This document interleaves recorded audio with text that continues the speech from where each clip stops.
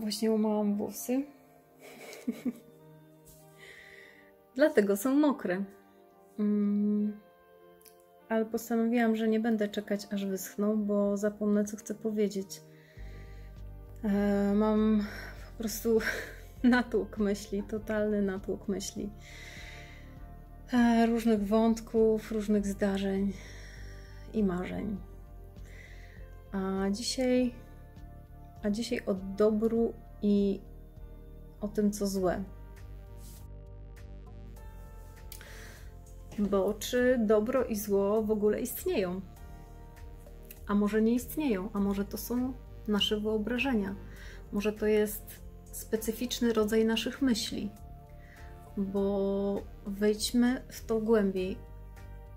Czym nazywasz dobro? Co jest dobrem? Co jest złem? Przyjrzyj się temu, zauważ. Dobrem nazywasz to, co czujesz, że jest dla ciebie dobre, co jest dla ciebie miłe, co jest dla ciebie pozytywne. O tym mówisz, że jest dobre.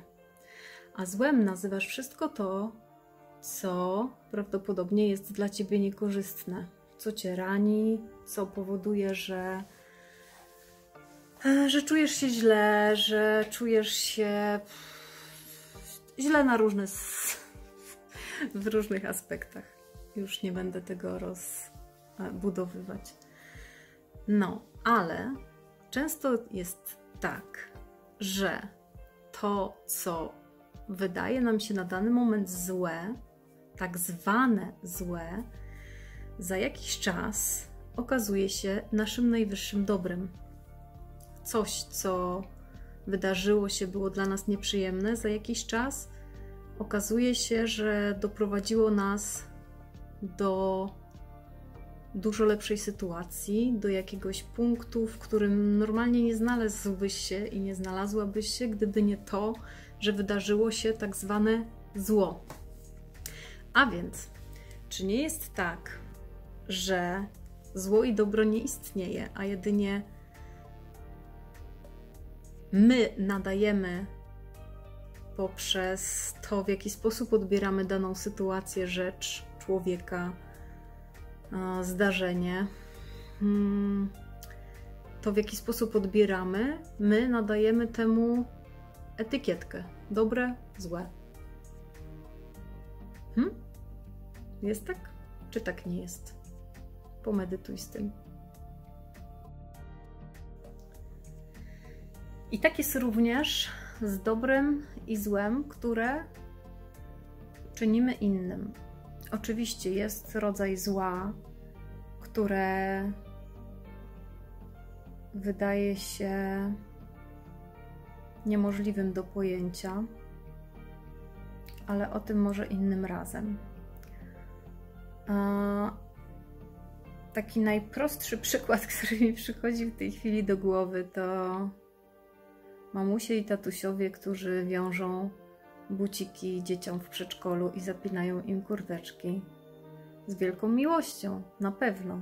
Ale czy to nie jest tak, że to dobro ogranicza rozwój tych dzieci i paradoksalnie jest złem?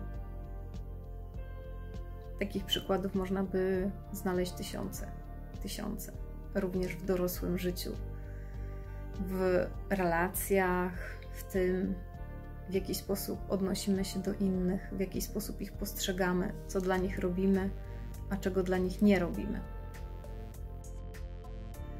I w tym wszystkim od razu przychodzi mi pytanie, jak być dobrym dla siebie, bo przecież powinniśmy wyjść na początku od siebie, a potem dopiero do innych. Jak nie mówić sobie nie swoim zachowaniem, swoim postępowaniem, tym, co wybieramy na co dzień. Zwróć na to uwagę. Zastanów się, czy mówiąc innym tak, nie mówisz sobie nie. Bo czyż takie tak nie byłoby okrutnym i złym nie i czynieniem zła dla siebie? Tak czy inaczej, wrzucam te wątki, zostawiam cię z tym. Pomedytuj, pomyśl, co i jak. Czy dobro i zło faktycznie istnieje. A ja lecę ogarnąć mój chaos. Pięknego dziś i zawsze. I to tyle na dziś. Bardzo dziękuję za uwagę. Jeśli film się spodobał, to bardzo proszę, polecaj, posyłaj dalej w świat. Zostaw lajka, zasubskrybuj, a będzie mi niezmiernie miło, jeśli będę mogła również przeczytać Twój komentarz pod tym filmem. Dziękuję, dziękuję, dziękuję. Wszystkiego dobrego.